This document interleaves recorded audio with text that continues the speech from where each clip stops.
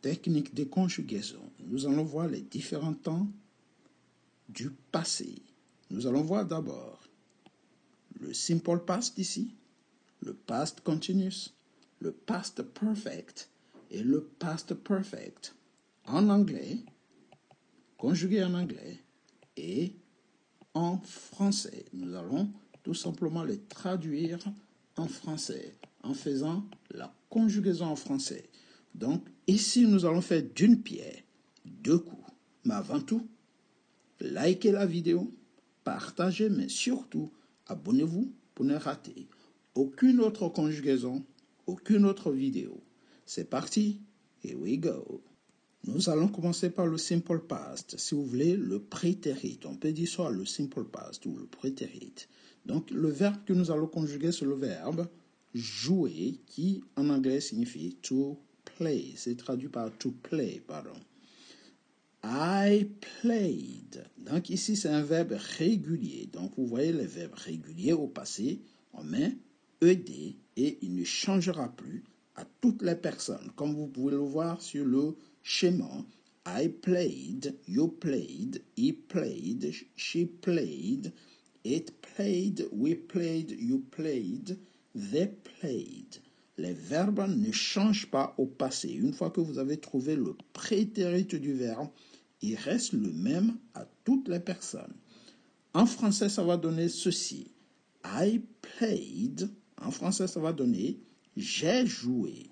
Donc, lorsqu'on le conjugue, on met le passé composé. Et le passé composé, c'est le verbe avoir au présent plus le participe passé du verbe.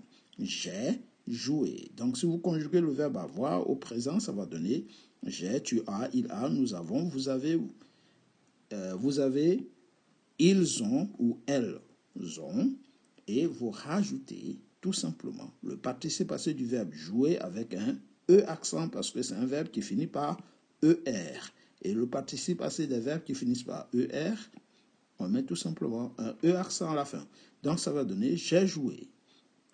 You played, ça va donner tu as joué. You played. Tu as joué. You played football yesterday. Hier, tu as joué au football. He played. He played. Il a joué. Il a joué. Last week, he played football. La semaine dernière, il a joué au football. She played. She, elle. She played. Elle a joué. Last month, she played volleyball. Le mois passé, elle a joué au volleyball. Donc, n'oubliez pas, il y a des indices temporels lorsqu'on utilise le prétérit ou le simple past. Il faut mettre des euh, indices tels que last, last year, tels que it played. It, c'est le chien ou le chat, donc c'est un animal. Donc, on peut dire it played in the garden. Il a joué dans le jardin. Donc, je parlais des indices temporels. Vous avez yesterday, last plus accompagné de plusieurs jours, last day, last month, accompagné de quelque chose. À partir du moment où vous avez last dans la phrase, vous allez toujours mettre le verbe au prétérit ou au simple past.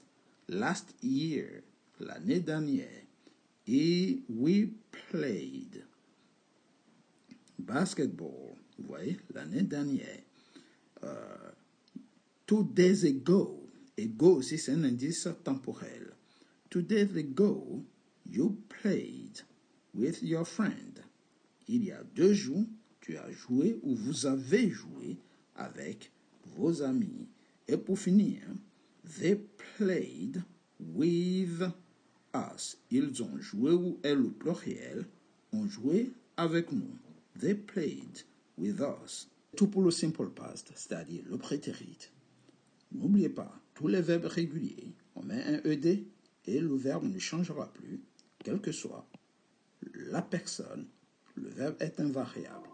C'est en français qu'il a qu'il faut vraiment vraiment faire attention parce qu'en français, il faut plutôt se concentrer sur l'auxiliaire avoir que vous conjuguez au présent ou l'auxiliaire être que vous conjuguez au présent et vous rajoutez le participe passé.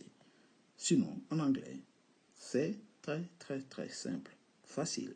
Repérez le passé du verbe et gardez-le du début à la fin. On passe maintenant au past continuous. Le past continuous ici, nous allons le conjuguer d'abord euh, avec le prétérit de to be. Tout ce qui est continuous se conjugue avec be. Donc, lorsqu'on va prendre be par exemple ici, on va prendre be ici, on va le conjuguer au prétérit. Et il y a deux prétérit avec be. Au singulier, on a was et au pluriel, on a were, auquel on va rajouter le verbe accompagné de son ing. En un mot, vous ne pouvez pas conjuguer un verbe au past continuous si vous ne connaissez pas. Le si vous ne connaissez pas, pardon, le prétérit du de be.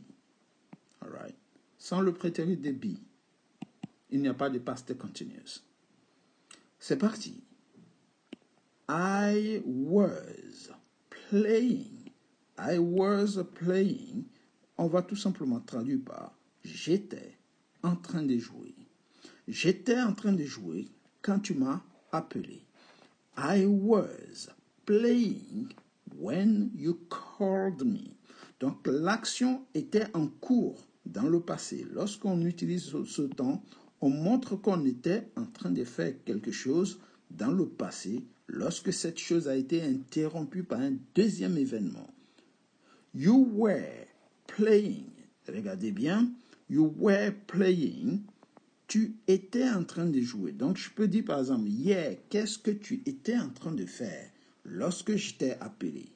Vous voyez Je peux dire, tu étais en train de regarder un match de football. Je le sais. You were watching a football match. Ou bien tu étais en train de jouer avec tes enfants. You were playing with your kids when I called you. Lorsque je t'ai appelé.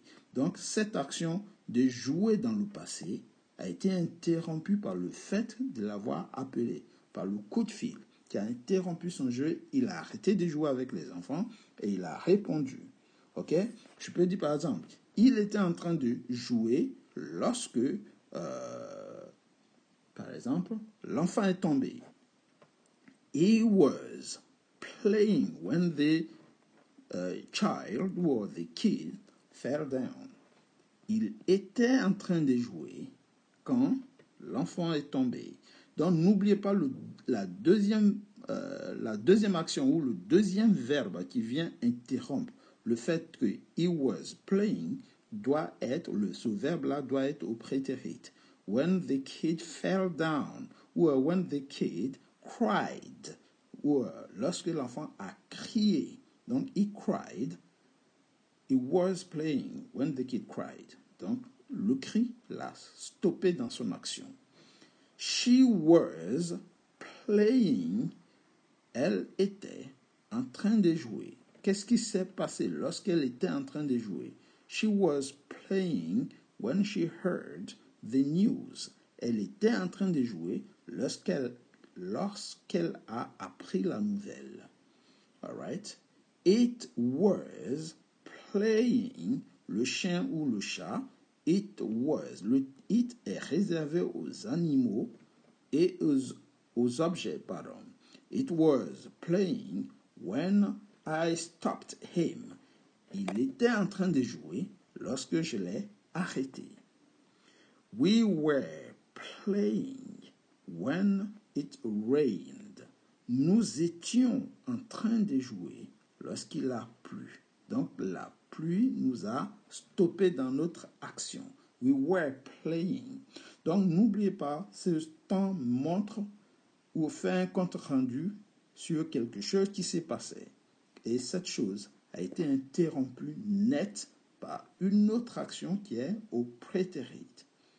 You were playing when I knocked at the door.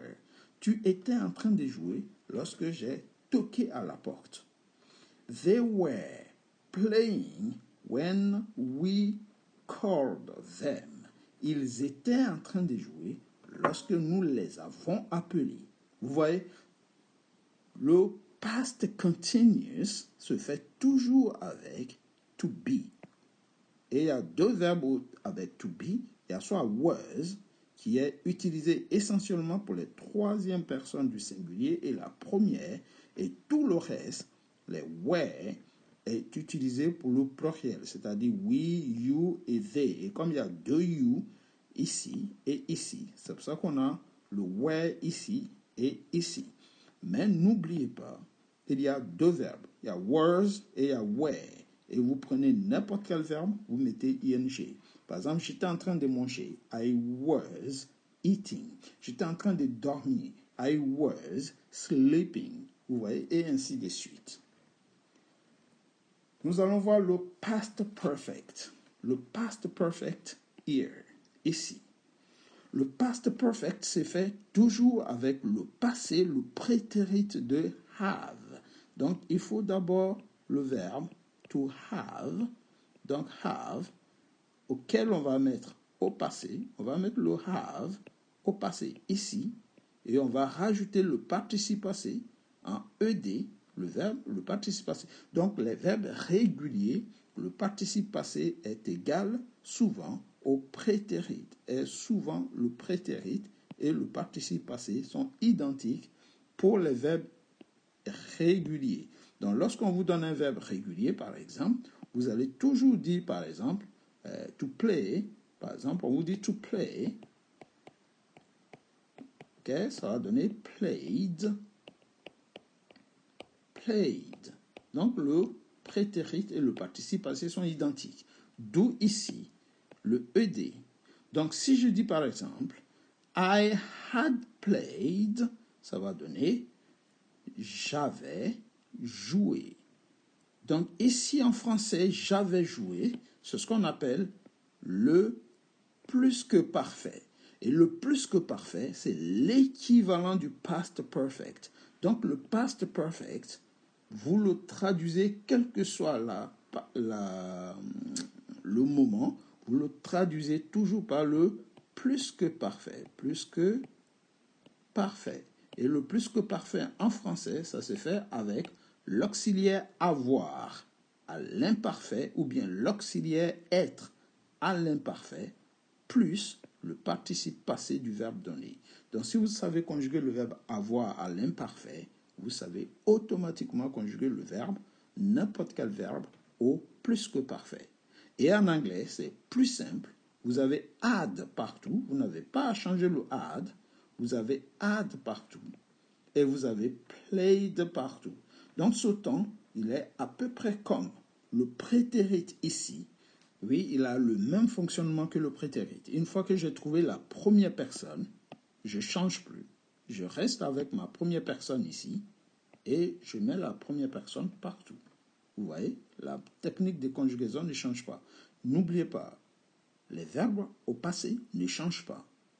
D'accord? La seule fois que vous verrez les verbes changer, c'est lorsque il est soit au présent. Donc, on met De la troisième personne? Sinon, tout le reste du temps, la première personne est équivalent au reste des autres personnes. Donc, nous partons maintenant dans la conjugaison. Et si je recommence ce que j'ai dit tout à l'heure, I had played, qui veut dire j'avais joué. I had played before you came here to ask me to play. J'avais déjà joué avant que tu ne viennes ici pour me demander de jouer. Donc j'avais déjà joué. Alright? L'action est antérieure. Elle a déjà eu lieu avant qu'une autre action n'arrive. D'où le plus que parfait. Et si you had played, you had played, ça va donner tu avais joué. You had played. Tu avais joué. Je ne t'ai pas fait jouer maintenant ou aujourd'hui parce que tu avais déjà joué. You had played before. Vous voyez? Donc, ici, il y a des actions qui se juxtaposent. He had played, he had played, il avait joué. Il avait joué. Donc, faites tout simplement Attention à la conjugaison des avait. Ici, c'est la troisième personne du singulier, donc on met AIT à avait. Mais jouer ne change pas, les participations ne changent pas. C'est l'auxiliaire qui va changer. J'avais, tu avais, il avait avec ici le AIT, alors qu'ici nous avons AIS, AIS. She had played, ici, elle avait joué. Elle avait joué, alright? It had played, il ou elle pour les animaux et les objets avait joué. D'accord? Il avait joué avant que je ne vienne, donc je ne le sors plus pour aller jouer. We had played, nous avions joué ici. N'oubliez pas, c'est l'imparfait du verbe avoir. Donc c'est A, euh, I ici, O, N, Avions joué. Nous avions joué avant que vous ne veniez. We had played before you came. Alright? Donc, l'action a déjà eu lieu et après vous êtes venu. You had played. Vous aviez joué. Nous avions joué. Vous aviez joué. Alright? Donc, on ne vous a pas mis dans le jeu cette fois-ci parce que vous aviez joué. They had played. Donc, ici, toujours le had. Il ou elle avait joué. Donc n'oubliez pas, conjuguer au plus que euh, parfait, au past perfect en anglais bien sûr, ici au past perfect, euh, c'est le had et le participe passé du verbe. En français, c'est avait, l'auxiliaire avoir à l'imparfait, plus le participe passé, mais on peut aussi dire l'auxiliaire être à l'imparfait plus le participe passé pour les verbes qui se conjuguent avec l'auxiliaire être. Par exemple, partir, j'étais parti, tu étais parti, il était parti, ça va donner I had left, you had left, he had left, et ainsi de suite. On a had left partout. Alright? Good. On va passer maintenant au past perfect continuous. Mais avant tout, n'oubliez pas, likez la vidéo si vous aimez jusque-là. Abonnez-vous pour ne rater aucun contenu. Alright? Subscribe. Alright? And don't forget to like this video. Here we go for the last tense pour le dernier temps. Past perfect Le past perfect ici continuous, c'est à peu près comme le past perfect, mais on conjugue seulement le be ici au past perfect et non n'importe quel autre verbe. C'est le be qui est mis au past perfect, donc le past perfect. Comme on sait que le past perfect se conjugue toujours avec have au prétérit, c'est-à-dire add, auquel on rajoute le participe passé. Donc, comme le participe passé de be, c'est been, ça va donner had been. Alright? Une fois on a mis le had been, on met plus n'importe quel verbe auquel on rajoute le ing.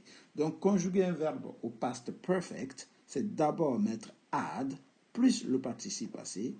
Si je conjugue au past perfect continuous, je rajoute, je rajoute, pardon, tout simplement, le verbe donné qui est play, je le rajoute à la fin de had been. Et partout, il y aurait had been plus le verbe. Had been plus le verbe. Had been plus le verbe. Had been plus le verbe. Même si le verbe change, le had been ne changera pas. Past perfect continuous c'est fait toujours avec had been plus n'importe quel verbe suivi de son ing. Ça peut être had been eating, had been playing, had been speaking, had been learning, had been listening, had been working. Donc, quel que soit le verbe, ce sera toujours had been. Is that clear? Est-ce que c'est clair? Bien, c'est parti. On va commencer maintenant la conjugaison une fois que vous avez compris la technique de construction du verbe. I had been playing. I had been playing, vous allez traduire par cela faisait cinq minutes que je jouais. Ou vous pouvez dire, je jouais depuis 5 minutes. Vous voyez I had been playing for five minutes before you called me. Avant que tu ne m'appelles, cela faisait cinq minutes que je jouais. Vous voyez? You had been playing for five minutes before the train arrived. Ça veut dire, tu jouais depuis cinq minutes avant que le train n'arrive. Tu jouais depuis cinq minutes. You had been playing before. Donc, tu jouais déjà et après le train est arrivé. You see that? Antériorité toujours. Sauf que lorsque le train est la personne continuait à faire l'action. D'où le ing parce que l'action n'était pas finie lorsque la deuxième s'est présentée. He had been playing. Cela faisait cinq minutes qu'il jouait lorsque son père est arrivé. He had been playing when either father appeared. She had been playing. She had been playing. Cela faisait cinq minutes qu'elle jouait. Ou bien on peut aussi dire elle jouait depuis cinq minutes lorsque le chien l'a pourchassé. Alright? It had been. It had been. Cela faisait cinq minutes qu'elle jouait. It had been playing. Alright? Le elle, le it ici, ça peut être euh, la chatte ou euh, la chienne ou euh, l'animal féminin, voilà, ou masculin d'ailleurs. We had been playing. We had been playing. Cela faisait cinq minutes que nous jouions. Alright. You had been playing. Cela faisait cinq minutes que vous jouiez. Et uh, they had been playing. Cela faisait cinq minutes qu'il ou qu'elle jouait. Et voici en résumé, la conjugaison des quatre tenses du passé. Le, euh, le past, simple past ici, simple past. Le past continuous. Le past perfect. Et le past perfect continuous. Et à partir d'aujourd'hui, vous serez incollable sur les temps du passé. Le prétérit ici, le past continuous, le passé continu, le past perfect, le passé perfect et past perfect continuous. Pour plus d'anglais, n'hésitez pas. Likez la vidéo, partagez et surtout, surtout, surtout, abonnez-vous. And never, never give up.